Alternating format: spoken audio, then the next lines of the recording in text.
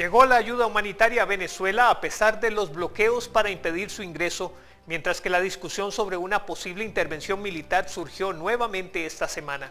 Por su parte, el Papa Francisco respondió a la solicitud de Nicolás Maduro para que intervenga en el proceso de diálogo, recordándole que ya incumplió acuerdos previos.